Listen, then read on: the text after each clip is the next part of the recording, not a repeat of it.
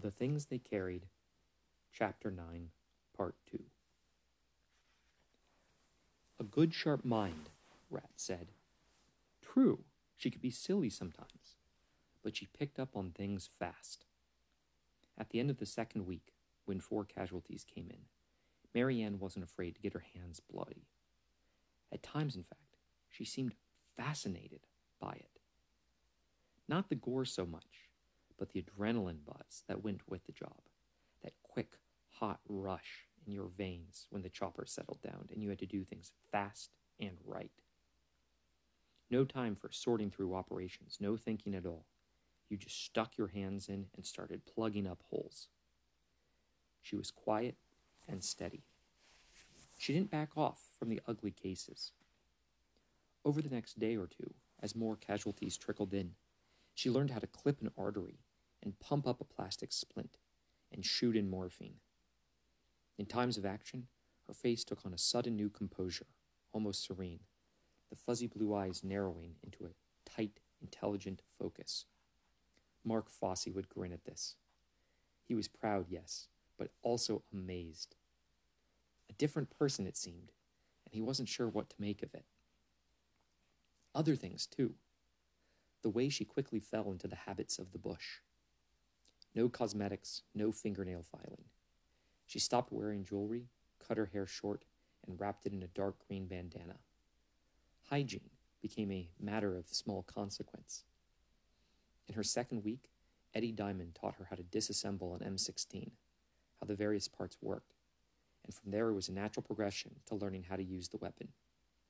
For hours at a time, she plunked away at C ration cans, a bit unsure of herself but as it turned out, she had a real knack for it. There was a new confidence in her voice, a new authority in the way she carried herself. In many ways, she remained naive and immature, still a kid, but Cleveland Heights now seemed very far away. Once or twice, gently, Mark Fossie suggested that it might be time to think about heading home, but Mary Anne laughed and told him to forget it. Everything I want, she said, is right here. She stroked his arm, then kissed him. On one level, things remained the same between them. They slept together. They held hands and made plans for after the war. But now, there was a new imprecision in the way that Mary Anne expressed her thoughts on certain subjects.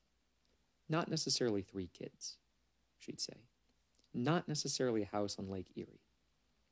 Naturally, we'll still get married, she'd tell him. But it doesn't have to be right away. Maybe travel first. Maybe live together. Just test it out, you know. Mark Fossie would nod at this, even smile and agree. But it made him uncomfortable. He couldn't pin it down. Her body seemed foreign somehow, too stiff in places, too firm where the softness used to be. The bubbliness was gone. The nervous giggling, too. When she laughed now, which was rare, it was only when something struck her as truly funny. Her voice seemed to reorganize itself at a lower pitch. In the evenings, when the men played cards, she would sometimes fall into long, elastic silences, her eyes fixed on the dark, her arms folded, her foot tapping out a coded message against the floor. When Fossie asked about it one evening, Mary Anne looked at him for a long moment, then shrugged. It's nothing. Really nothing. To tell the truth, I've never been happier in my whole life. Never. Twice, though, she came in late at night. Very late. And then finally, she did not come in at all. Rat Kiley heard about it from Fossie himself. Before dawn one morning, the kid shook him awake. He was in bad shape. His voice seemed hollow and stuffed up, nasal sounding, as if he had a bad cold. He held a flashlight in his hand, clicking it on and off. Mary Anne, he whispered. I can't find her. Rat sat up and rubbed his face. Even in the dim light, it was clear that the boy was in trouble. There were dark smudges under his eyes, the frayed edges of somebody who hadn't slept in a while. Gone, Fossie said. Rat, listen, she's sleeping with somebody last night she did she didn't even I don't know what to do. Abruptly then, Fossie seemed to collapse. He squatted down, rocking on his heels, still clutching the flashlight. Just a boy, 18 years old, tall and blond, a gifted athlete. A nice kid, too, polite and good hearted, although for the moment none of it seemed to be serving him well. He kept clicking the flashlight on and off. All right, start from the start, Rat said, nice and slow. Sleeping with who? I don't know who. Eddie Diamond. Eddie? Has to be. The guy's always there, always hanging on her. Rat shook his head. Man, I don't know. Can't say it strikes a right note, not with Eddie. Yes, but he's easy does it, Rat said. He reached out and tapped the boy's shoulder. Why not just chuck some bunks? We've got nine guys. You and me, that's two, so there's seven possibles. Do a quick body count. Fossie hesitated. But but I can't. If she's there, I mean, if she's with somebody. Oh Christ. Rat pushed himself up. He took the flashlight, muttered something, and moved down to the far end of the hooch. For privacy, the men had rigged up curtained walls around their cots, small makeshift bedrooms. And in the dark, Rat went quickly from room to room, using the flashlight to pluck out the faces. Eddie Diamond slept a hard, deep sleep. The others too. To be sure, though, Rat checked once more very carefully, then he reported back to Fossie. All accounted for, no extras. Eddie, Darvin dreams. Rat switched off the flashlight and tried to think it out. Maybe she just, I don't know, maybe she's camping out tonight, under the stars or something. You searched the compound? Sure did. Well, come on, Rat said. One more time. Outside, a soft violet light was spreading out across the eastern hillsides. Two or three ARVN soldiers had built their breakfast fires, but the place was mostly quiet and unmoving. They tried the helipad first, then the mess hall and supply hooches, then they walked the entire 600 meters of perimeter. Okay, Rat finally said. We've got a problem. When he first told the story, Rat stopped there and looked at Mitchell Sanders for a time. So, what's your vote? Where was she? The Greenies, Sanders said. Yeah? Sanders gave him a savvy little smirk. No other option. That stuff about the special forces, how they use the place as a base of operations, how they glide in and out, all that there had to be there for a reason. That's how stories work, man. Rat thought about it, then shrugged. All right, sure. The Greenies. But it's not what Fossie thought. She wasn't sleeping with any of them. At least, not exactly. I mean, in a way, she was sleeping with all of them, more or less, except it wasn't sex or anything. They were just lying together, so to speak. Mary Anne and these six grungy, weirded out green berets. Lying down? Sanders said. You got it. Lying down how? Rat smiled. Ambush. All night long, man. Mary Anne's out on a fucking ambush. Just after sunrise, Rat said. She came trooping in through the wire, tired looking but cheerful, as she dropped her gear and gave Mark Fossie a brisk hug. The six green berets did not speak. One of them nodded at her, and the others gave Fossie a long stare. Then they filed off to their hooch at the edge of the compound. Please, she said, not a word. Fossie took a half step forward and hesitated. It was as though he had trouble recognizing her. She wore a bush hat and filthy green fatigues. She carried the standard M16 automatic assault rifle. Her face black with charcoal.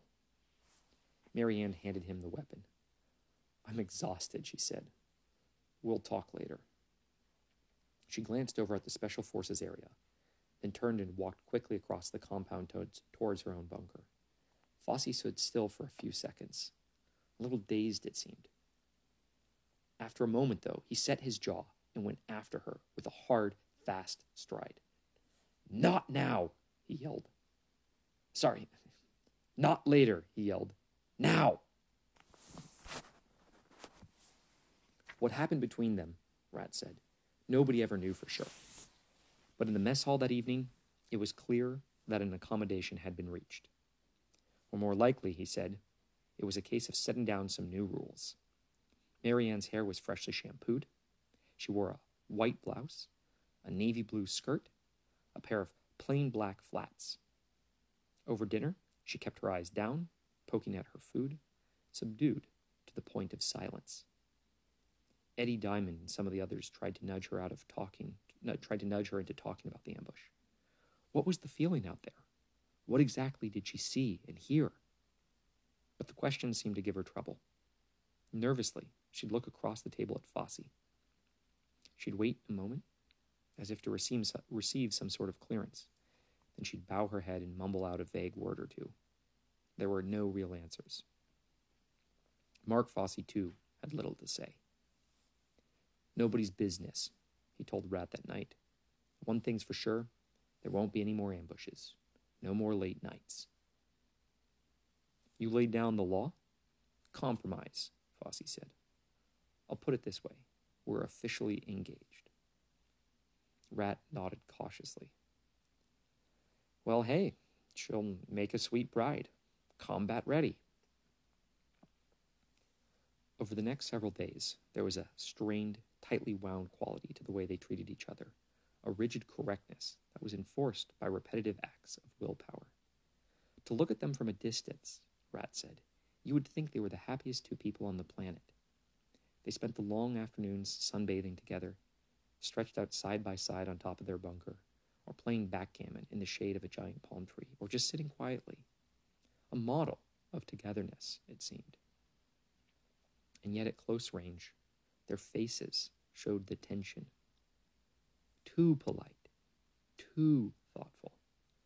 Mark Fossie tried hard to keep up a self assured pose, as if nothing had come between them or ever could. But there was a fragility to it, something tentative and false.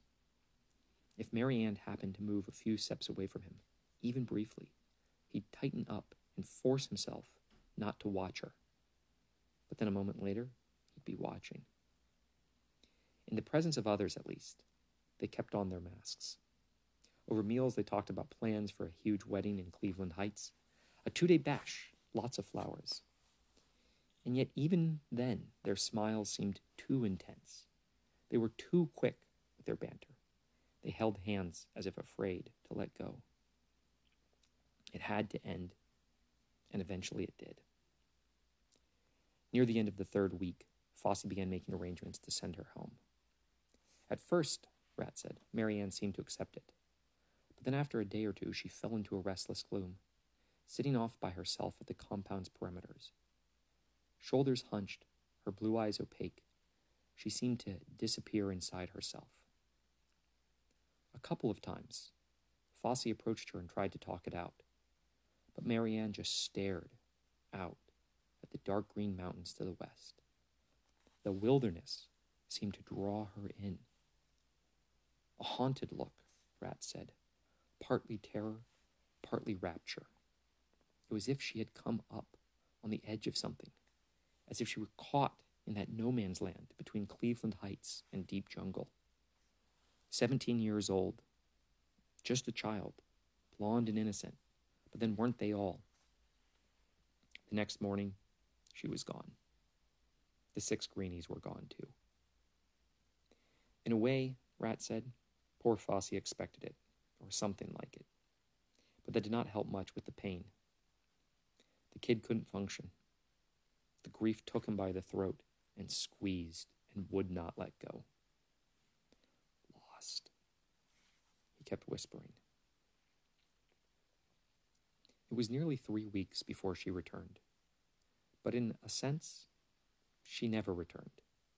Not entirely, not all of her. By chance, Rat said, he was awake to see it. A damp, misty night, so he couldn't sleep. So he'd gone outside for a quick smoke. He was just standing there, watching the moon. And then off to the west, a column of silhouettes appeared, as if by magic, at the margin of the jungle. At first, he didn't recognize her a small, soft shadow among six other shadows. There was no sound, no real substance either. The seven silhouettes seemed to float across the surface of the earth like spirits, vaporous and unreal. As he watched, Rat said, it made him think of some freaky opium dream. The silhouettes moved without moving. Silently, one by one, they came up the hill, passed through the wire, and drifted in a loose file across the compound. It was then, Rat said, that he picked out Mary Anne's face. Her eyes seemed to shine in the dark, not blue, though, but a bright, glowing jungle green. She did not pause at Fossie's bunker. She cradled her weapon and moved swiftly to the Special Forces hooch and followed the others inside. Briefly, a light came on and someone laughed. Then the place went dark again. Whenever he told the story, Rat had a tendency to stop now and then, interrupting the flow, inserting little clarifications or bits of analysis and personal opinion. It was a bad habit, Mitchell Sanders said, because all that matters is the raw material, the stuff itself, and you can't clutter it up with your own half baked commentary. That just breaks the spell, destroys the magic. What you have to do, Sanders said, is trust your own story. Get the hell out of the way and let it tell itself. But Rat Kiley couldn't help it. He wanted to bracket the full range of meaning. I know it sounds far out, he'd tell us, but it's not like impossible or anything. We all heard plenty of wackier stories. Some guy comes back from the bush, tells you he saw the Virgin Mary out there. She was riding a goddamn goose or something. Everybody buys it. Everybody smiles and asks how fast they were going. Did she have spurs on? Well, it's not like that. This Mary Anne wasn't no virgin, but at least she was real. I saw it. When she came in through the wire that night, I was right there. I saw those eyes of her. I saw how she wasn't even the same person no more. What's so impossible about that? She was a girl, that's all. I mean, if it was a guy, everybody'd say, hey, no big deal. He got caught up in the Nam shit. He got seduced by the greenies. See what I mean? You got these blinders on about women, how gentle and peaceful they are. All that crap about how if we had a pussy for president, there won't be no more wars. Pure garbage. You got to get rid of that sexist attitude. Rat would go on like that until Mitchell Sanders couldn't tolerate it anymore. It offended his inner ear. The story, Sanders would say. The whole tone, man. You're wrecking it. The tone? The sound. You need to get a consistent sound. Like slow and fast. Slow or fast. Funny or sad. All these digressions, they just screw up your story's sound. Stick to what happened. Frowning, Rat would close his eyes. Tone, he'd say. I didn't know it was all that complicated. The girl joined the zoo. One more animal. End of story. Yeah, fine, but tell it right. At daybreak the next morning, when Mark Fossie heard she was back, he stationed himself outside the fenced off Special Forces area. All morning he waited for her, and all afternoon. Round dusk, Rat brought him something to eat. She has to come out, Fossie said. Sooner or later, she has to. Or else what? Rat said. I go get her. I bring her out. Rat shook his head. Your decision. I was you, though, no way I'd mess around with any greeny types. Not for nothing. It's Mary Anne in there. Sure, I know that. All the same, I'd knock real extra super polite. Even with the cooling night air, Fossie's face was slick with sweat. He looked sick. His eyes were bloodshot. His skin had a whitish, almost colorless cast. For a few minutes, Rat waited with him, quietly watching the hooch. Then he patted the kid's shoulder and left him alone. It was after midnight when Rat and Eddie Diamond went out to check on him. The night had gone cold and steamy, a low fog sliding down from the mountains, and out in the dark there was music playing. Not loud, but not soft either. It had a chaotic, almost unmusical sound, without rhythm or form or progression, like the noise of nature. A synthesizer, it seemed, or maybe an electric organ. In the background, just audible, a woman's voice was half singing, half chanting, but the lyrics seemed to be in a foreign tongue. They found Fossie squatting near the gates in front of the Special Forces area. Head bowed, He was swaying to the music, his face wet and shiny. As Eddie bent down beside him, the kid looked up with eyes, not quite in register, ashen and powdery. Hear that? He whispered. You hear? It's Mary Anne. Eddie Diamond took his arm. Let's get you inside. Somebody's radio. That's all it is. Move it now. Mary Anne, just listen. Sure, but listen. Fossie suddenly pulled away, twisting sideways, and fell back against the gate. He lay there with his eyes closed.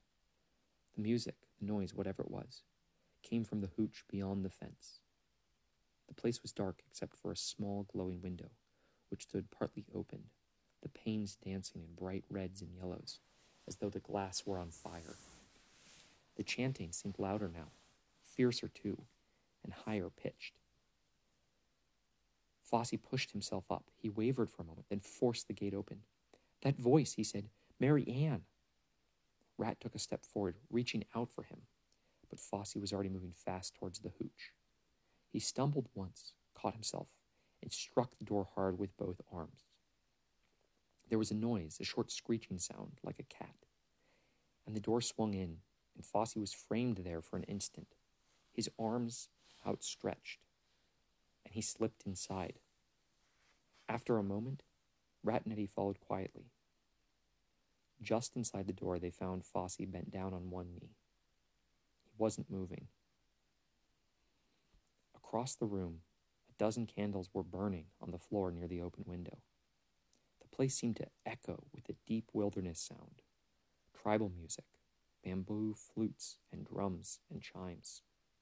But what hit you first, Rat said, was the smell. Two kinds of smells. There was a topmost scent of joss sticks and incense, like the fumes of some exotic smokehouse. But beneath the smoke lay a deeper and much more powerful stench. Impossible to describe, Rat said. It paralyzed your lungs, thick and numbing, like an animal's den, a mix of blood and scorched hair and excrement and the sweet, sour odor of moldering flesh the stink of the kill. But that wasn't all. On a post at the rear of the hooch was the decayed head of a large black leopard.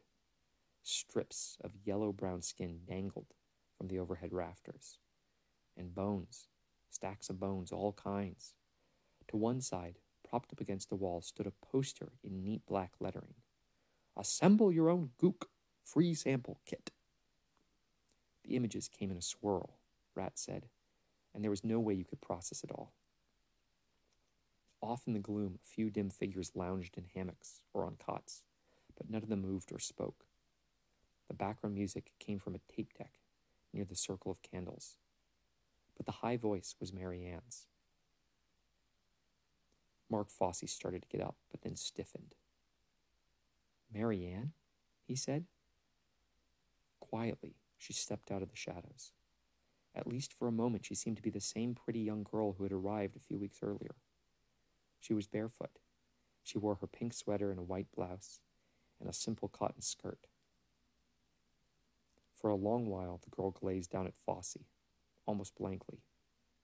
And in the candlelight, her face had the composure of someone perfectly at peace with herself. It took a few seconds, Rat said, to appreciate the full change. In part, it was her eyes, utterly flat and indifferent. There was no emotion in her stare, no sense of the person behind it. But the grotesque part, he said, was her jewelry. At the girl's throat was a necklace of human tongues, elongated and narrow, like pieces of blackened leather. The tongues were threaded along a length of copper wire one tongue overlapping the next, the tips curled upward as if caught in a final shrill syllable. Just for a moment, the girl looked at Mark Fossie with something close to contempt. There's no sense talking, she said. I know what you think, but it's not. It's not bad. Bad? Fossie murmured. It's not. In the shadows, there was laughter. One of the greenies sat up and lighted a cigar. The others lay silent. You're in a place, Mary Anne said softly, where you don't belong. She moved her hand in a gesture that encompassed not just the hooch, but everything around it the entire war, the mountains, the mean little villages, the trails and trees and rivers and deep misted over valleys. You just don't know. You hide in this little fortress behind wire and sandbags, and you don't know. Sometimes I just want to eat this place. The whole country, the dirt, the death. I just want to swallow it and have it there inside me. That's how I feel. It's like this appetite. I get scared sometimes, lots of times, but it's not bad. I feel close to myself. When I'm out there at night, I feel close to my own body. I can feel my blood moving, my skin and my fingernails, everything. It's like I'm full of electricity and I'm glowing in the dark. I'm on fire almost. I'm burning away into nothing. But it doesn't matter because I know exactly who I am. You can't feel like that anywhere else. All of this was said without drama, as if to herself, her voice slow and impassive. She was not trying to persuade. For a few moments, she looked at Mark Fossie, who seemed to shrink away. Then she turned and moved back into the gloom. There was nothing to be done. Rat took Fossie's arm, helped him up, and led him outside. In the darkness, there was that flipped out tribal music, which seemed to come from the earth itself, from the deep rainforest, and a woman's voice rising up in a language beyond translation. Mark Fossie stood rigid. Do something, he whispered. I can't just let her go like that.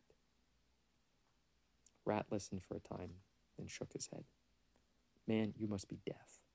She's already gone. Rat Kiley stopped there, almost in mid sentence, which drove Mitchell Sanders crazy. What's next? he said. Next? The girl. What happened to her?